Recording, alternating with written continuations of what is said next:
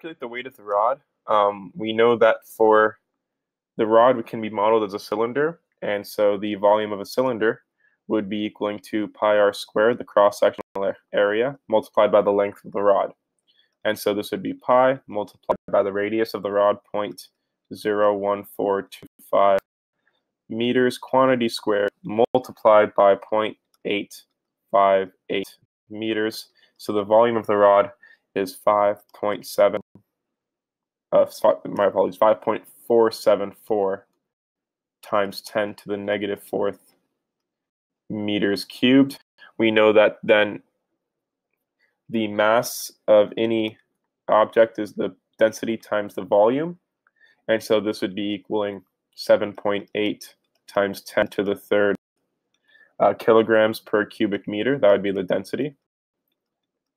Multiplied by 5.7, 5.474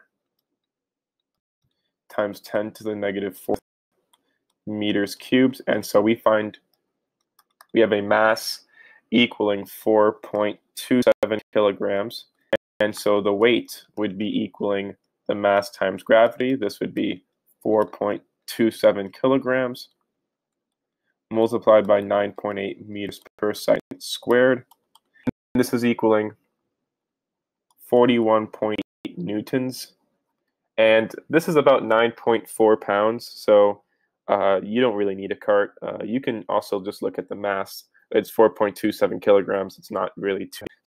So uh, this would be the weight. And so no, uh, a cart is not needed. That would be the end of the solution. Thank you for watching.